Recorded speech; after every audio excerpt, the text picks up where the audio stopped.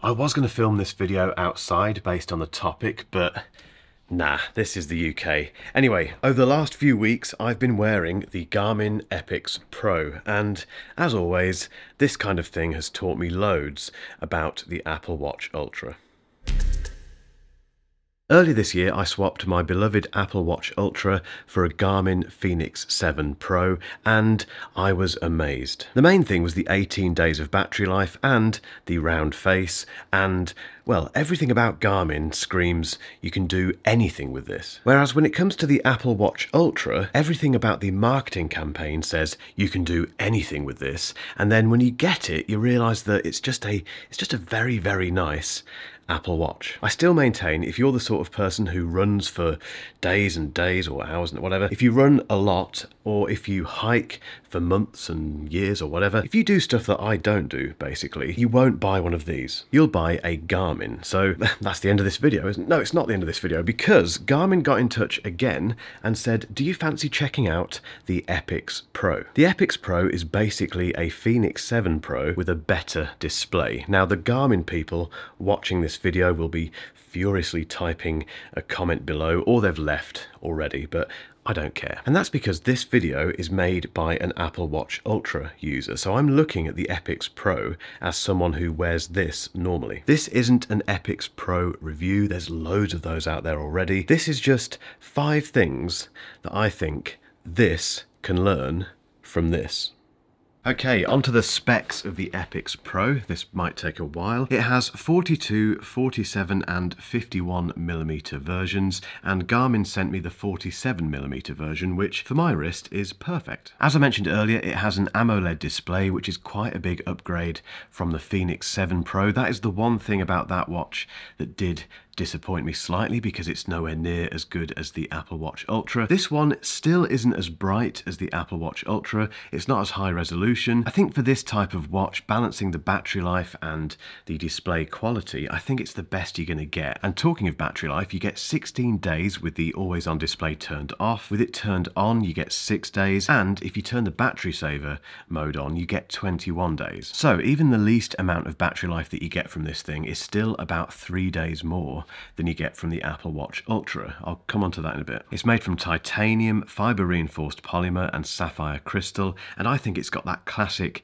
Garmin Rugged Beauty, which I am a massive fan of. It weighs 70 grams, so it's refreshingly light. This looks like a heavy watch, but it really, really isn't. It's got 32 gig of built-in memory if you want to upload your music, and more sensors than I have time to list. Honestly, if I went through every single sensor on this watch, you'd be gone. It's got a very bright LED flashlight, 10 ATM water resistance, which is effectively 100 meters, multi-band GPS, and built-in mapping. It's got loads of training stuff built into it as well, so sleep score and insights, training readiness, training status, daily suggested workouts. Basically, whenever I wake up and look at this watch, it gives me all of that data from the night, and also it gives, gives me an idea of what I should be doing today. I normally ignore it and just do my own thing, but it's nice to know that if I was really into my fitness and you know really took account of every single metric and data point, this thing has me covered. Let's get on to the five things I think this watch teaches this watch.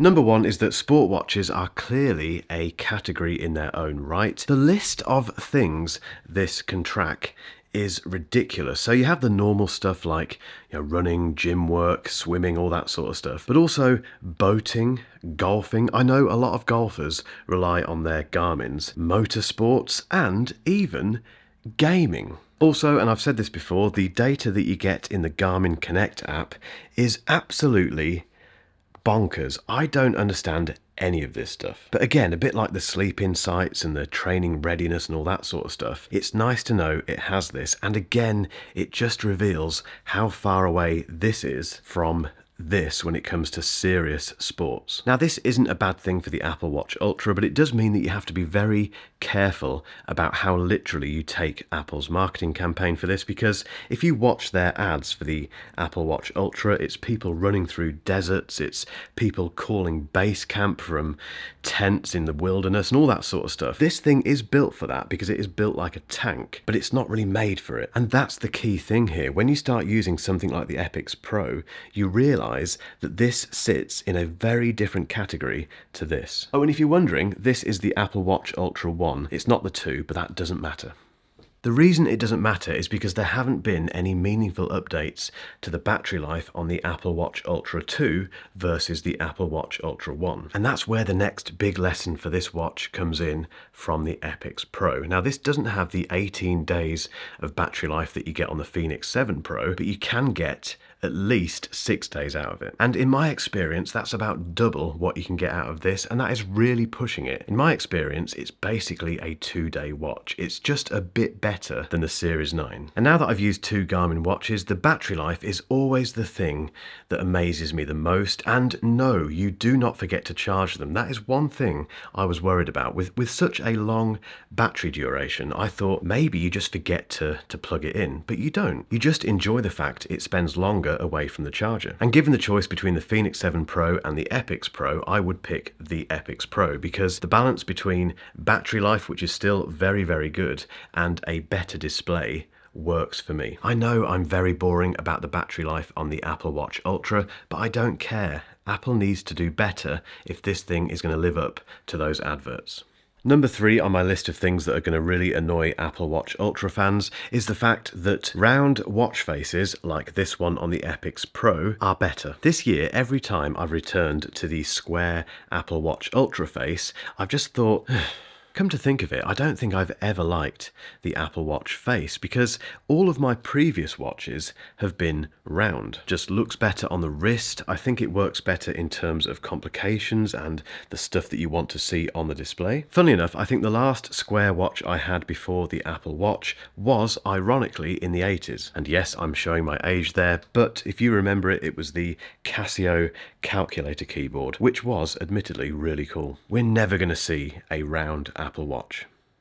Number four on my list of things that you probably definitely don't agree with is the fact that, well, it's a positive lesson for the Apple Watch Ultra. It's something this thing does right, and that is the fact that I think it's priced correctly. In the UK, the Apple Watch Ultra 2 retails for £799. The Epix Pro, the version that I have, the 47mm edition, is 930 quid. But there's three sizes, so the most expensive is £999 and the least expensive is 829 quid. I've always thought that one of the greatest strengths of the Apple Watch Ultra is the price. When we first started hearing rumours about this rugged Apple Watch, this kind of adventurer focused premium version of Apple's wearable, I was convinced it was going to be well beyond 1,000 quid. But it's considerably below that, and I think it's affordable for people who don't want a Garmin, who want an Apple Watch with all of the ecosystem stuff built into it. Now, that's not to say that the Epix Pro is overpriced. In fact, I think this is priced perfectly as well.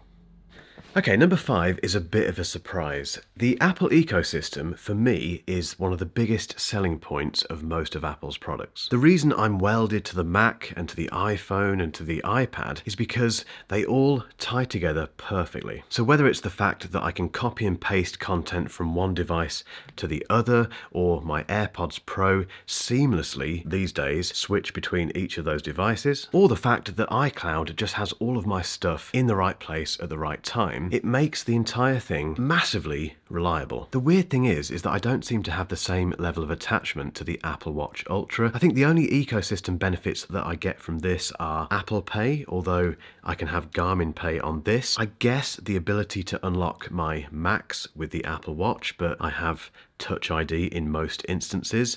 And what else? Oh, the fact that my AirPods can connect to this while I go out on a run. Um, oh, and the fact that on Fitness Plus, if you don't have an Apple Watch Ultra when you start one of those workouts, you do feel a bit left out. If I leave the house without a Mac or without my iPhone, I do feel a little bit like one of my limbs is missing. I don't feel like that when I'm wearing the Epix Pro. And for me, that means that Apple clearly needs to up its game with the ecosystem when it comes to the Apple Watch. Of all the platform switching I've done this year, so I've done loads of Android stuff, I've done Windows stuff, it's the Garmin experiments that have been the most compelling. And while I can't switch full time to an Android phone and I definitely can't switch to Windows, I am considering going full time with Garmin. But because I'm such a sheeple, such an Apple fanboy, I still can't I still can't quite drop this yet. But in 2024, I am going to dig more into the Garmin side of things things, I promise. But I'd love to know, are you a Garmin person or an Apple Watch person? Let me know why down below. And if you've still got some time and you fancy some more Apple Watch Ultra content, keep watching for a link to a video I made a little while ago where I took this on a hike.